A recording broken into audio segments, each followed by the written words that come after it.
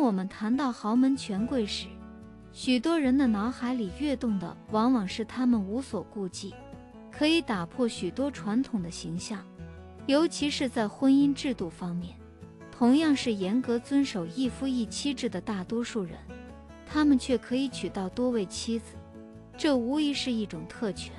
然而，在这个看似光鲜亮丽的背后，那些甘愿嫁入豪门，与他人共享丈夫的女性。真的能够享受到真正的豪门生活吗？今天我要给大家讲述的这个故事，主角并非那些在豪门中备受委屈的女子，而是一位出身豪门的男子王文阳。他的故事至今仍被人们津津乐道，那就是他在婚内爱上了一位大学生，然后又无情地抛弃了身患癌症的妻子。王文洋生于一九五一年，他的父亲是大名鼎鼎的王永庆，而他的原配夫人陈静雯比他大了整整四岁。陈静雯热爱书法和绘画，曾在英国学习设计专业，而王文洋则选择了物理学专业。两人的兴趣爱好可谓天差地别。然而，由于他们都是来自台湾的老乡，因此成为了非常亲密的朋友。有一次，王文阳因伤住院，陈静雯以朋友的身份陪伴在他身边，悉心照料，这深深打动了王文阳。康复后，他便开始热烈地追求陈静雯。陈静雯觉得这位弟弟善良正直，人品极佳，于是便同意了与他交往。实际上，那时的王文阳已经是一位成功的企业家。他的父亲王永庆拥有数十亿的财富，然而，王文洋并未向陈静雯透露自己的真实身份。直到1975年夏天，他从大学毕业，即将前往家族集团在美国的分公司工作，才向陈静雯坦白了自己的家世背景，并邀请她一同前往。不久之后，两人一同来到了美国，并在那里举行了婚礼。婚后育有一儿一女，儿子王全仁，女儿王思涵。那段在美国度过的岁月，对于陈静雯来说，无疑是人生中最为美好的时光。多年以后，当她回忆起这段往事时，仍然感慨万分。当时与丈夫在美国，带着孩子，过着平凡而充实的生活，那种感觉真是无比美妙。这样的幸福并未能长久延续。由于王文洋是王永庆的长子，他被视为接管家族企业的最佳人选。在上世纪九十年代初期，在父亲王永庆的强烈要求下，王文洋带着陈静雯和一双可爱的子女回到了台湾，准备接手家族事业。然而，王永庆并未立即将王文洋提拔至公司高层。而是让他从基层做起。最初的几个月，他甚至与普通工人一起住在员工宿舍，过着三班倒的生活。由于他从未透露自己的真实身份，工友们都以为他只是一个普通的员工。经过一段时间的磨砺，王文洋终于赢得了父亲的信任，并成功跻身公司董事会。与此同时，他还在台湾大学担任兼职副教授，可谓是事业家庭两得意。作为他的妻子，陈静雯也因此倍感荣幸。然而，陈静雯始终保持着低调的作风。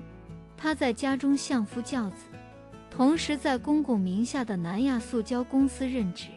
空闲之时，他会静静地坐在家中挥毫泼墨。而不像其他豪门女主那样热衷于社交活动。然而，她并未察觉到自己与丈夫之间的距离正在逐渐拉大。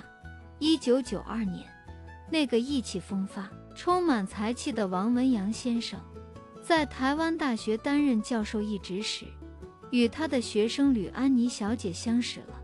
尽管他们之间相差了整整十八岁之多。然而，他们却私下默默地坠入爱河，开始了一段秘密恋情。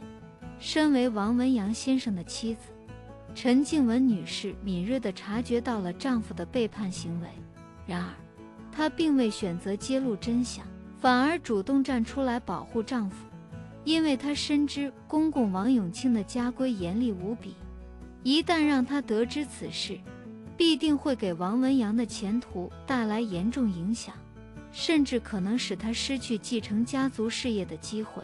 毕竟，王文阳虽是家中长子，但并非王永庆唯一的孩子。然而，陈静文的忍耐并未能换来丈夫的理解和尊重，反而助长了他的放肆。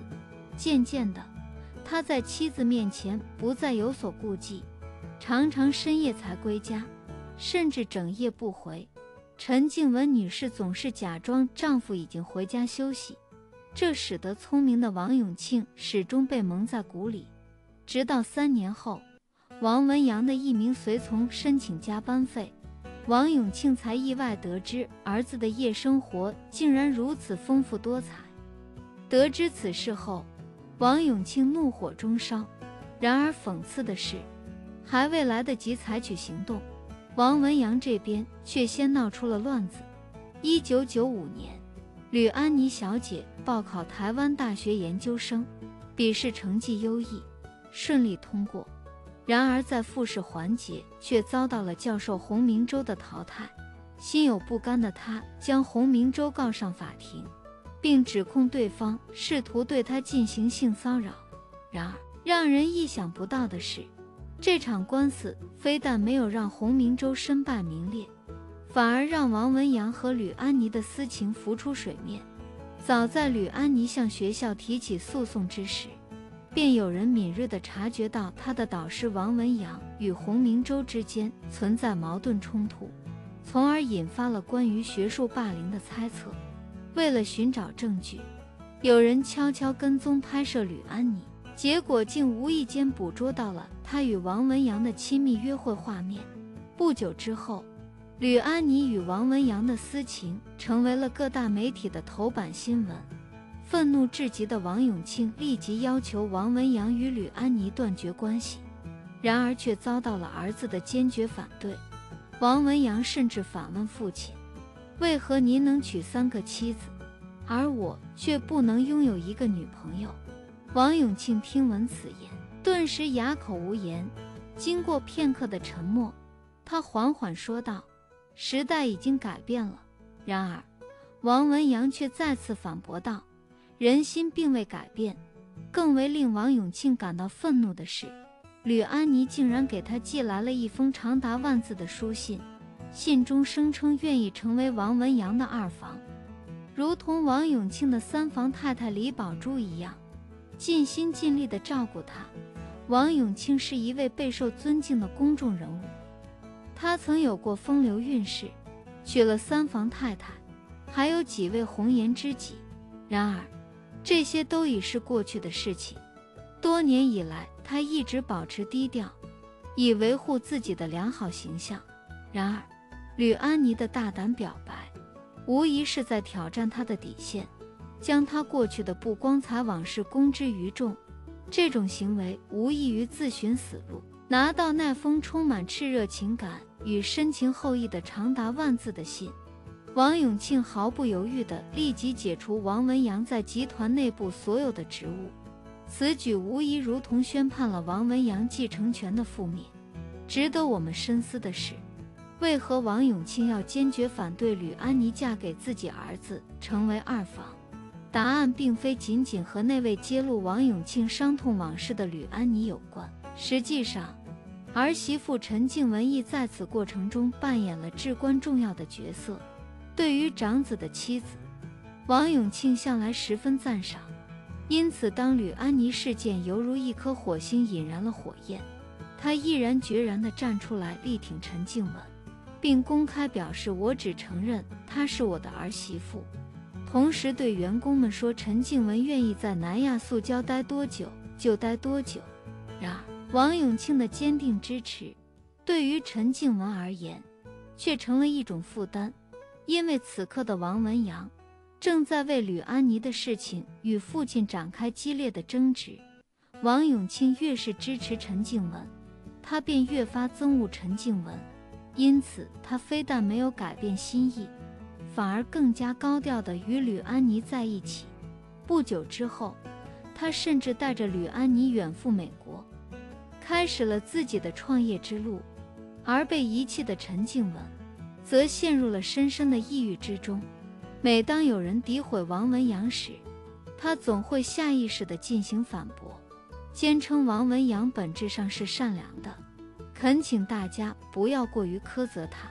后来，王文洋创业急需资金，陈静文毫不犹豫地出售了自己名下的南亚塑胶股票，将所得款项全数交给丈夫。那时，她的行为令许多朋友感到无法理解，其中一位朋友甚至公开抱怨道：“静文真是太傻了，无论何时何地都在维护王文洋。”而自己却默默承受着所有的痛苦。然而，陈静文并不认为自己的付出是愚蠢的，他始终怀揣着一份期待，期待有朝一日，王文阳能够迷途知返，重新回归到自己这位发妻的身旁。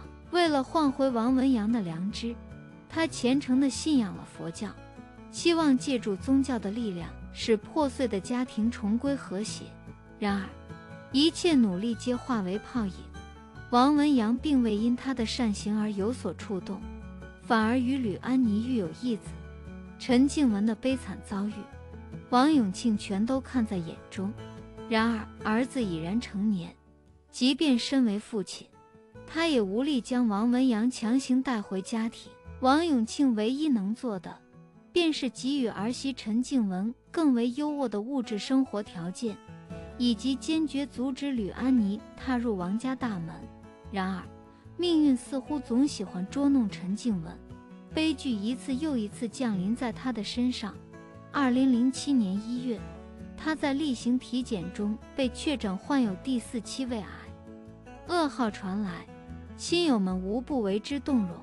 九十岁高龄的公公王永庆，更是亲自赶往医院探望，泪水如雨般滑落。面对生命垂危的发妻，王文阳再也无法袖手旁观，他暂时放下了吕安妮，来到医院悉心照料陈静文。然而，此刻才明白悔改，实在是为时已晚。六个月后，饱受病魔摧残的陈静文在极度抑郁中撒手人寰，留给王文阳无尽的懊悔与遗憾。陈静文离世后。王文阳多次公开表达内心的悔恨，并且对待婚姻问题，他也变得愈发慎重。当被问及何时会与吕安妮步入婚姻殿堂时，他坦言：“我已经签署过一份婚姻卖身协议，那种感觉实在太过恐怖，因此我绝不会再次尝试。”这段回答无疑是以一种委婉的方式暗示他将永远不会与吕安妮结婚。